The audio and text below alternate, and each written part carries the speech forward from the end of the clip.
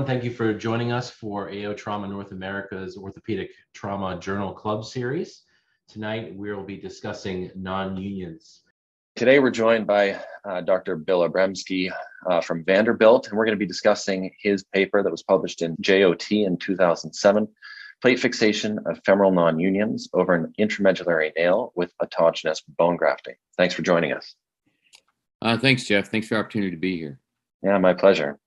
Would hope that you could start by telling us just a little bit about how this paper came about and where what the status of non-union uh, treatment was at the time.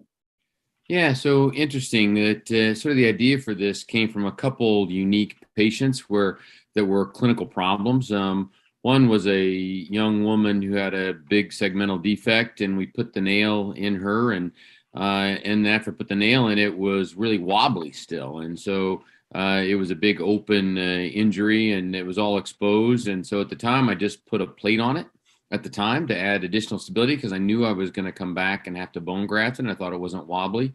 And so that was one of the first times, sort of a scheduled non union, so to speak. And then two others were one, a uh, Hispanic guy who had a nail, femoral nail, a cloverleaf nail put in in Mexico. Uh, you know, 20 years ago, and he was playing soccer, and it was a non-union, and it broke, and then we couldn't get it out. I mean, I couldn't get it out. And and so I thought, well, I guess I can plate it. So then we just plated over that and and and bone grafted him, and he healed. And one more was a guy who got nailed at an outside institution, and then then came to us. And his start point for his femoral nail was so anterior, he actually had a gluteus medius injury, uh, you know, from his uh, nail insertion. And I didn't want to go digging around, and the nail was sitting really anterior, and he was a thick guy.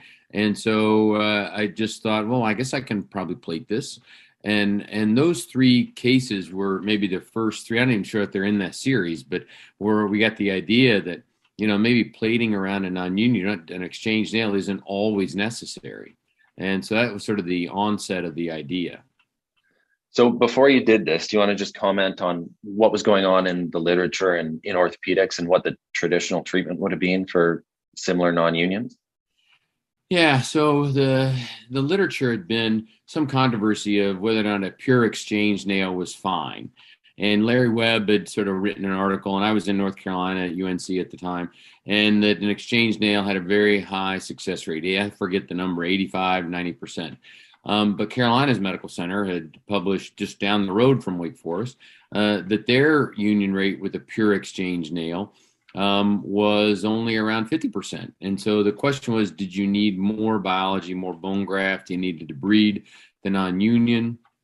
It's still a little bit maybe controversial today, and I would say it may depend upon the non union type and where it is. It's metaphyseal or diaphyseal. Um, but I think those are some of the controversies at the time. Uh, and then these uh, isolated uh, sort of clinical scenarios came up where really questioned I wasn't able to do an exchange nail or didn't want to do an exchange nail. Uh, and so we just looked at other ways of attaining and maintaining stability, uh, as well as uh, the opportunity to add biology with a bone graft. Yeah. And I guess one of the concerns at the time would have been whether or not adding a plate would have compromised periosteal blood, blood supply in addition to the endosteal from the from the nail. Right. Yeah, that's always been the uh, yeah, that was a theory. Uh, I think as we're you know learning that uh, you know dual plate plate nail combinations, particularly in elderly patients, uh, maybe it's that the additional stability you gain may be worth the risk of uh, increased vascular insult. Yeah. Do you want to just go through, if you don't mind, the process of of how you uh, of how you went through the surgery then, and and maybe if you've changed at all, how you're going through it now? Yeah, well, it's uh, it probably all depends on where the non-union is, whether it's a distal femur shaft or uh, or proximal femur, but and whether or not you think you need to exchange the nail or not, uh, and uh, and most of the time, you can do this without exchanging the nail. Uh, and uh, when I'm not planning on exchanging the nail, I'll have the patient in the lateral position uh, and then do a subvastus uh, approach uh, for as long as you need to make it. Usually, I would counsel you to make it as longer is better, at least to expose. Make sure you see the the the arteries, you know, the perforators before you cut them, and you don't get one uh, while you're trying to stretch. Uh, and make sure you've got good control. and then you can get an adequate debridement of the non-union site.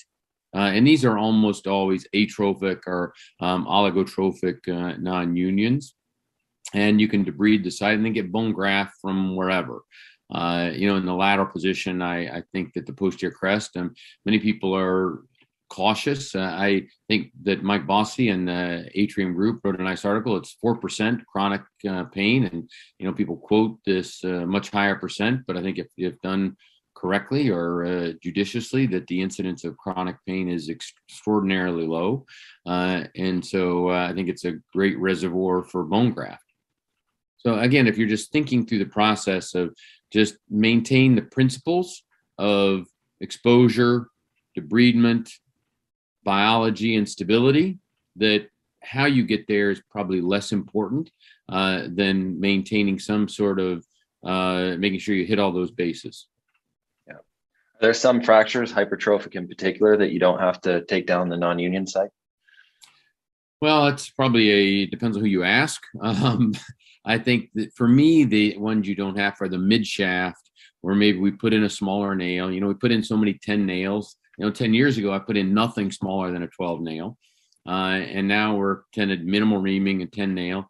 And that's fine, but it's maybe not if you're a six six guy uh, who's uh, you know 250 pounds. Um, uh, it, I think we've seen I've seen a patient stand there and wobble his leg back and forth, and say it moves and i'm like i can hear it clicking so i think 10 nails are great most of the time but sometimes we may allow too much motion they get a hypertrophic non-union and those that are mid shaft and hypertrophic you can probably do a closed exchange nailing uh, i would say that's 10% of the non-unions i see and that's a data free opinion but it's a guess uh, where i think if a non-union with a hypertrophic midshaft where you have maybe an undersized nail, that a pure closed exchange nailing is a reasonable idea.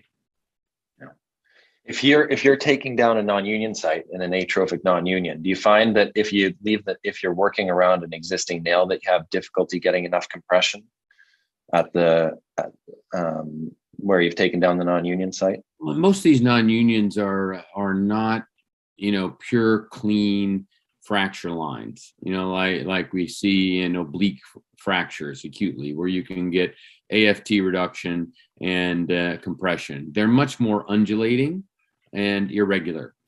And I think the critical thing is stability, and maybe not, or you may even have a gap, you know, and then you're not really getting compression. I think the key thing to me is stability, and I uh, and I work for uh, biology and stability and how you how you attain that and the compression in that manner i think is probably less important do you want to maybe just comment on your selection for when you're going to use a plate nail combo and when you're going to use a, uh, a plate in isolation or whether you're going to just do an exchange nailing yeah so uh, simplest first so exchange nail is uh, probably i think as i said with a mid shaft hypertrophic uh, nail where it's really trying to heal. And then I give the patient the option. You can, I think that's one scenario where you could probably take out the interlocking bolts and allow some compression. And I, but on that, I think if you select the, I tell people it's about 50 to 75% effective, where a plate over that is probably 90% effective. Uh, and, uh, and then uh, when I would uh, do a, uh, a plate nail combination, are where uh, you know, it's probably metadiaphyseal, um, where that you you just an exchange nail doesn't really give you that much more stability. So uh, a plate nail combination metadiaphyseal, either uh, more distal than proximal, uh, and then um, a plate only historically that's all you know in my first 10 years of my training and practice it pretty much was the standard answer.